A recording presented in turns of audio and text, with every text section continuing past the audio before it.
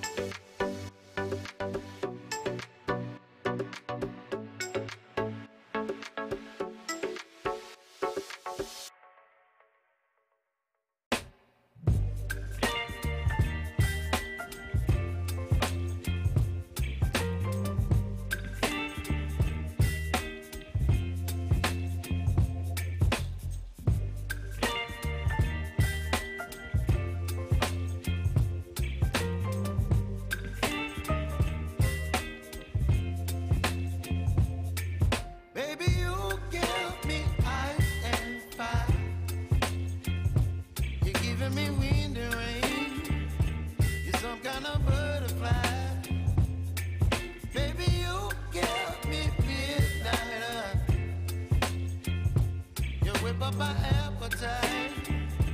Don't leave me here high and dry.